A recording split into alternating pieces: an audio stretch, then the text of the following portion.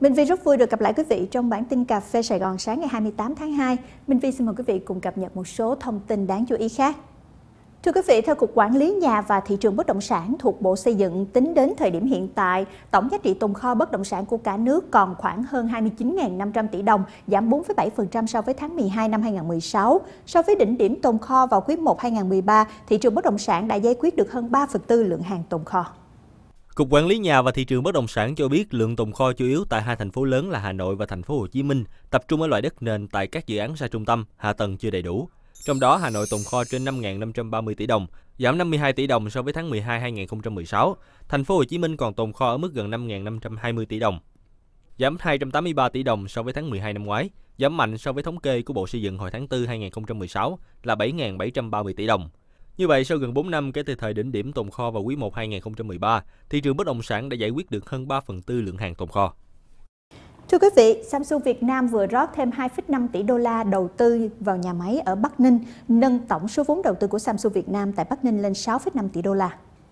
Đây là lần thứ hai Samsung Display Việt Nam điều chỉnh mở rộng nâng tổng vốn đầu tư của công ty tại Bắc Ninh. Tổng vốn đầu tư hiện tại lên đến 6,5 tỷ đô la Mỹ. Dự án mở rộng khi đi vào hoạt động sẽ nâng công suất sản xuất của Samsung từ 180 triệu sản phẩm lên 220 triệu sản phẩm một năm, cùng với việc cấp phép đầu tư mở rộng Samsung Display Việt Nam tại khu công nghiệp Yên Phong. Đến nay, tỉnh Bắc Ninh đã cấp giấy chứng nhận đầu tư cho gần 1.000 doanh nghiệp FDI với tổng vốn đầu tư đăng ký khoảng 15 tỷ đô la Mỹ, tạo việc làm cho hơn 230.000 lao động, giá trị xuất khẩu đạt hơn 23,5 tỷ đô la Mỹ.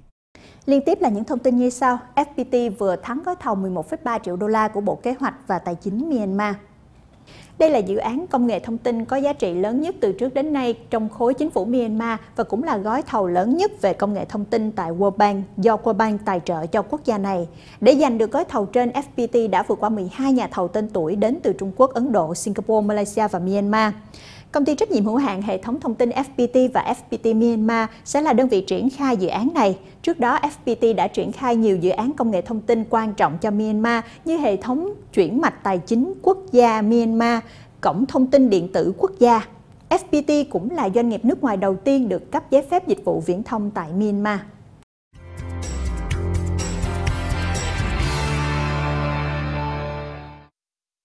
Sáng qua, Hiệp hội Doanh nghiệp Bất động sản Thành phố Hồ Chí Minh vừa tổ chức hội thảo phát triển nhà ở xã hội, nhà ở thương mại giá rẻ Thành phố Hồ Chí Minh. Tại hội nghị, nhiều doanh nghiệp, đặc biệt là doanh nghiệp trong phân khúc nhà ở giá rẻ, nhà ở xã hội, đồng loạt than phiền rằng quy trình thủ tục tại thành phố quá chậm, thậm chí chậm hơn nhiều tỉnh thành lân cận. Theo ông Lê Hữu Nghĩa, giám đốc công ty xây dựng thương mại Lê Thành, doanh nghiệp này có dự án nhà ở muốn xin chuyển đổi từ nhà ở thương mại sang nhà ở xã hội, nhưng mất đến 7 tháng vẫn chưa xong. Cụ thể từ tháng 7 2016, doanh nghiệp đã trình Sở Xây dựng Thành phố Hồ Chí Minh cho chuyển đổi dự án nhà ở Lê Thành sang nhà ở xã hội. Đến tháng 10 2016, Sở Xây dựng đã có công văn trình Ủy ban nhân dân thành phố xem xét đề xuất này. Nhưng hai tháng sau, Ủy ban nhân dân thành phố lại có văn bản đề nghị Sở Xây dựng báo cáo rõ về tính pháp lý và giải phóng mặt bằng của dự án.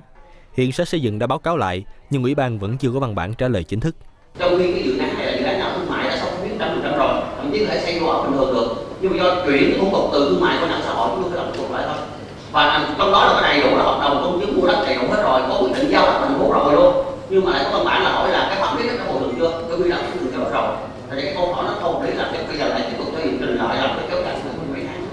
Và hiện nay sở dựng đã trình rồi luôn ở thành phố. Trình ngày 2 tháng 2 năm 2017 đã trình thành phố rồi. Được mong thành phố sớm xem xét để triển khai dự án đây là nhà ở cho thuê nhà ở xã hội để cho thuê không phải.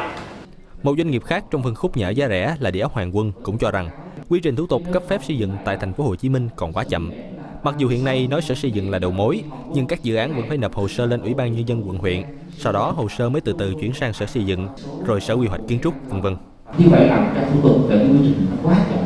Chúng tôi kiến nghị là thực sự phải làm sao sở xây dựng thực sự là là là đầu mối, là chủ trì một cửa thì có như vậy thì nó mới đảm bảo được là cái thời gian sau như là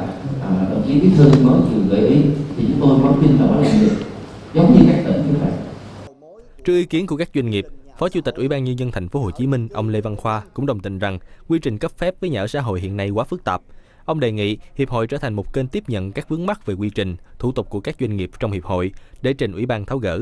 Riêng thành phố, ông chỉ đạo Sở Xây dựng nghiên cứu đề án để trở thành một đầu mối về thủ tục xây dựng đúng nghĩa cho các doanh nghiệp. Trước giờ thì Sở Xây dựng vẫn là cơ quan thường trực, cơ quan đầu mối của các chương trình nhà ở xã hội, nhà ở chung cư trước 75, nhà ở kênh rạch và các loại nhà ở khác. tuy nhiên hôm nay thực hiện chỗ đồng chí bí thư là thêm một ý nữa là đầu mối đúng nghĩa tức là thay vì đầu mối thì anh phải đi một cửa anh phải đi lo hết các nơi cho doanh nghiệp đi ờ, sở kế hoạch đi sở ACB rồi sau đó anh tổng hợp lại báo cáo trình với ban thôi chứ chứ còn nói là đầu mối nhưng mà rồi doanh nghiệp phải cầm hồ sơ đi sở a sở b sở c thì thật ra sự đầu mối đó nó chưa đúng nghĩa đúng không Tuấn vậy thì chúng tôi sẽ đề nghị là anh Tuấn nghiên cứu cái và đề xuất cái mô hình đó là từ sở xây dựng sẽ làm đầu mối một cửa để giải quyết các cái vấn đề thủ tục quy trình cho cho cho doanh nghiệp Cũng theo ông Khoa, với các quy trình bị kéo dài do doanh nghiệp không đáp ứng kịp các yêu cầu theo quy định thì các doanh nghiệp phải tự chịu trách nhiệm. Riêng với các quy trình bị kéo dài do thủ tục hoặc do sai phạm của cán bộ nhà nước, ông sẽ chịu trách nhiệm chỉ đạo tháo gỡ hoặc đề xuất lên cấp trên.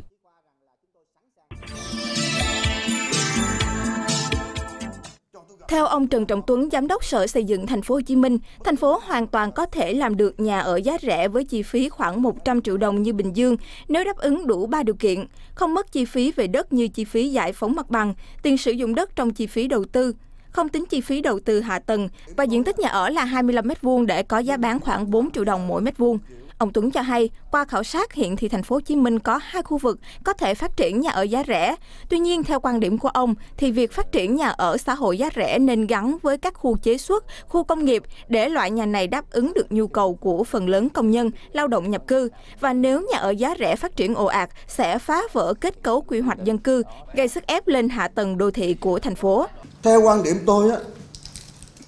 mình chỉ làm nhà ở trăm triệu ở nó gắn với cái khu công nghiệp, khu chế xuất, nơi tập trung đông của nhà. Nhưng điều quan trọng là vấn đề không phải là nhà 100 triệu. Điều quan trọng mà chúng ta tiếp cận để lý giải vấn đề này là làm thế nào để có nhà ở giá rẻ cho người thu nhập thấp phù hợp với điều kiện kinh tế xã hội phù hợp với điều kiện mức sống của người dân ở từng địa phương chứ không phải nói bình dương làm nhà trăm triệu cái thành phố hồ chí minh cũng làm nhà một triệu điều kiện khác nhau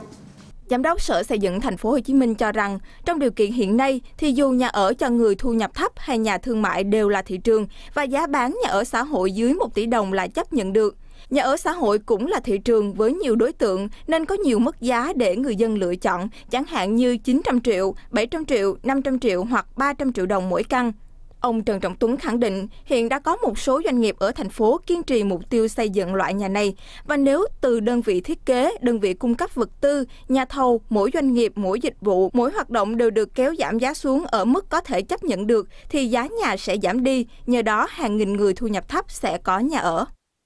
Thưa quý vị, tại thị trường chứng khoán, cả hai sàn đồng loạt tăng tốc trong phiên giao dịch ngày đầu tuần. Sắc xanh trên nhiều cổ phiếu vốn hóa lớn đã giúp cho thị trường diễn biến tích cực hơn.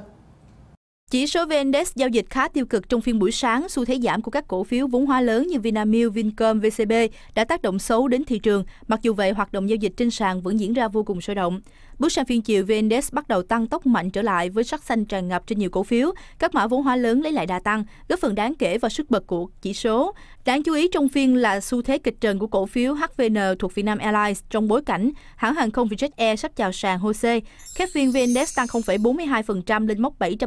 44 điểm, thanh khoản đạt hơn 3.300 tỷ đồng, tương đương trên 180 triệu đơn vị được chuyển nhượng. Tại sàn Hà Nội, chỉ số HNX Index diễn biến khá giằng co trong phiên sáng nhưng đã tăng tốc vững chắc hơn vào phiên chiều. Các cổ phiếu chủ chốt góp phần đáng kể vào đà tăng của thị trường này.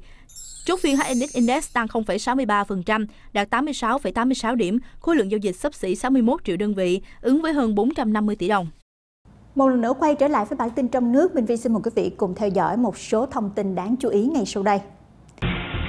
Lượng khách quốc tế đến Việt Nam đạt kỷ lục trong tháng 2. Trao đổi với đại diện Hiệp hội Cà phê Cacao về giá cà phê trong giai đoạn đang khan hàng.